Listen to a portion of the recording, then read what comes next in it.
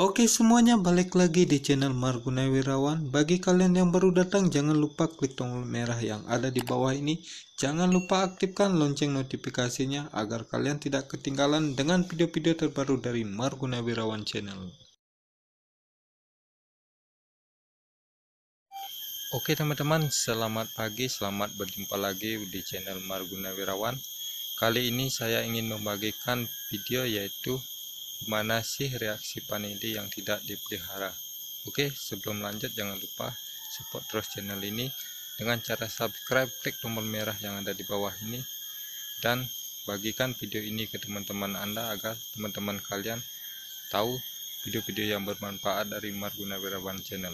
Oke, kita lanjut ke videonya. Oke teman-teman, ini adalah salah satu panili ya dari kebun tetangga yang tidak dipelihara ya ini batang-batang paneli ini pada layu ya. Padahal paneli ini sudah dikawinkan ya teman-teman ya. Ini sudah dikawinkan.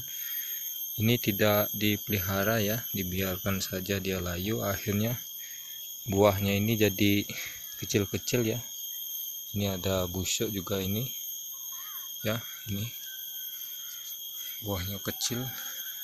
Ini disebabkan karena kemarau itu panjang dan panili ini tidak disiram ya. Ya lihat ini sudah pada menguning bawahannya ya. Kasihan juga ya teman-teman padahal ini sudah lumayan ya ada empat tandan ya. Empat tandan buah lima ya. Ya si tidak dipelihara seperti ini ya ini pohonnya layu. Kemungkinan ini buah tidak akan baik ya.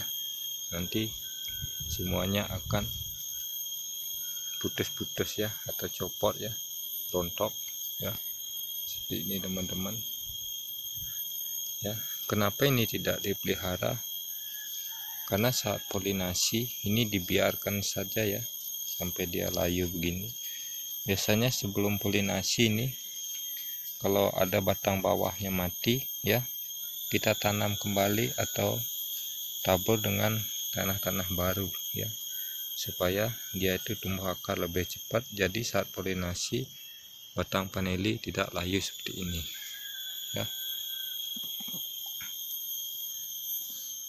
Seperti ini teman-teman bisa dilihat ya penampakan buahnya keriting kecil ya.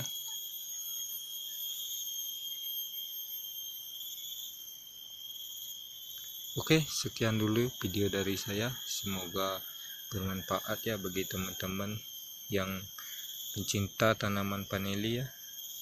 Kita tuh harus rajin mengontrol paneli di saat mulai berbuah ya. Biar tidak seperti ini kasihan juga buahnya tidak akan dapat ya